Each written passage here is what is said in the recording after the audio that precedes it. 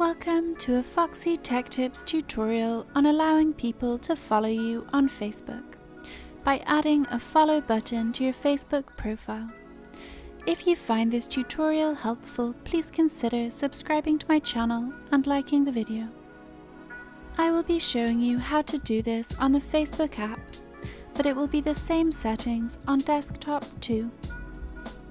Open up the Facebook app and tap on the three lines button at the bottom right of the homepage. If you are on Android, then the three lines button will be at the top right of the page.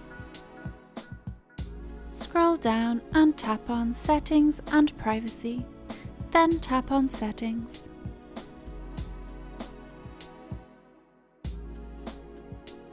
In Settings, scroll down to the Privacy heading and tap on Privacy Settings. Scroll down to the How People Can Find and Contact You heading and tap on Who Can Send You Friend Requests.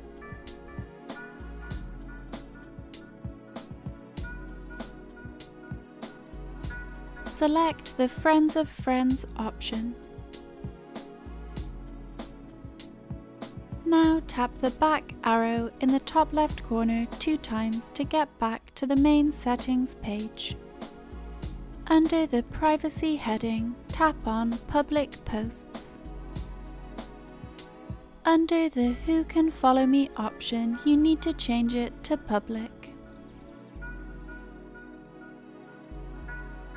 You can choose what you would like your followers to be able to comment on on your posts and your profile info in the next two settings.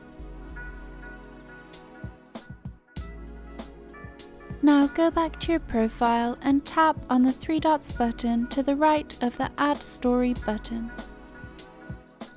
Tap on View As to view your profile from someone else's point of view you will see that you now have a follow button on your profile. And that draws an end to this tutorial.